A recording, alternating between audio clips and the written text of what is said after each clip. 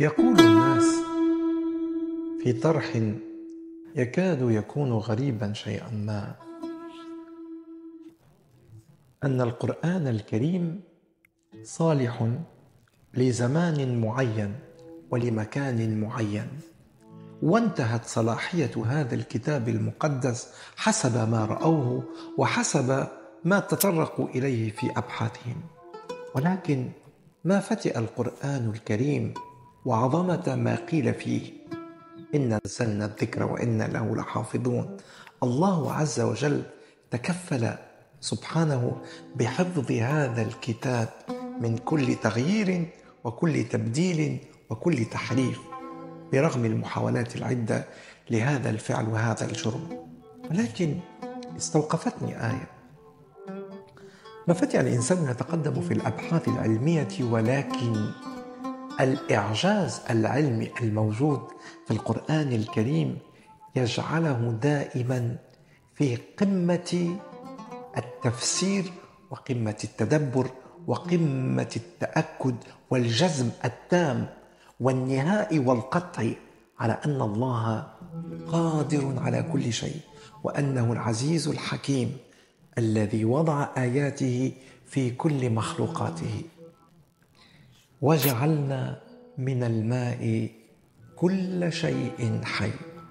كل شيء قد عجز عن تفسيرها العلماء لأن كل شيء لا يستثني من المخلوقات ومن مخلوقاته عز وجل أي عنصر كان.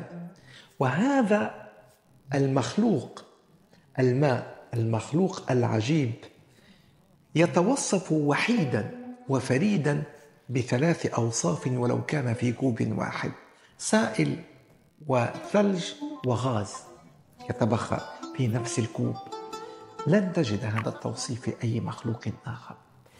فالعلماء اليوم وتحديدا هذه الأشهر القليلة قد تبينوا غرابة أمر إعجازي أن الماء فيه ذاكرة. وستجدون أسفل هذا الفيديو رابط يوحي لكم إلى العديد من الأقسام. فانتبهوا إلى هذا. فقد جرب العلماء عن مسافة بعيدة جدا بين بلدين. كيف أن الماء في هذا المكان يتوصف كتوصيف مكونات الأديان. ويكون نفس الشاكلة في التوصيف في مكان آخر حتى ولو أرسلنا هذه الذبذبات عبر إرساليات لنفس الكوب في مكان آخر. فأنا ما رايته استوقفتني هذه الآية أن الذي يتوقع أو يريد أن يربك الناس في قراءة القرآن الكريم على الماء ويقول هذا قال رب أن للقرآن أن القرآن شفاء لما في الصدور. وهو شفاء لكل الأمراض ولكل داء بإذنه تعالى عز وجل. فهو الشافي الكافي.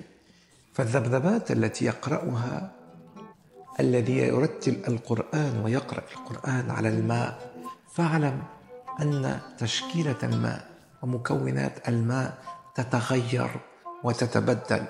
وأجزم العلماء أن الماء الذي يجري في القنوات هو مضر. ومتغير إلى الأسوأ وأن أفضلية الماء النقي يتوصف ويحافظ على مكونات نافعة وهامة لجسد الإنسان. فلذلك نقول ولقد جعلنا من الماء كل شيء حي. نتفطن أن الماء هذا الماء يحيي وهو حي. استوقفتني آية في القرآن الكريم هو برنامج مقدم من أجل أن نقف مع كلام الله في قناة صدقة جارية. تقبل الله منا ومنكم صالح الأعمال وكل الصدقات. قناة صدقة جارية تيك توك فيسبوك يوتيوب.